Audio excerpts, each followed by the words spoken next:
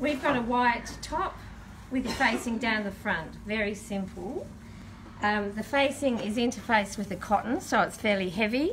The fabric is a linen, linen, so the linen is quite stretchy. So when you're doing the hemline, you need to iron the facing really firmly to make sure it sits on top of the linen correctly. You're going to do the turn back bit where you turn back the facing and stitch across the bottom. Half the time when you do that, the facing is too tight and it pulls at the hemline. So once you've stitched, you've ironed the facing, see how it's swinging away? If you, if you stitch that on straight, it's going to pull at the front.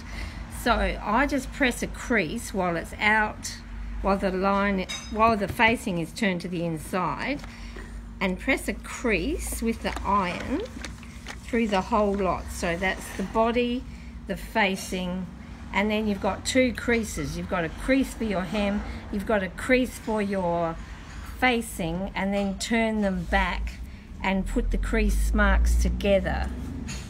Oops, I'm losing it off the side here.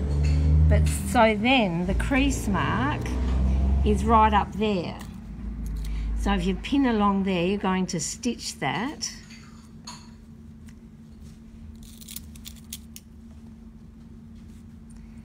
Once you've stitched it, you'll turn it back. That holds your facing attached, but then it sits even against the body. Otherwise, you'll find this edge is too small and it'll hook up the hemline at the bottom. That's it, simple.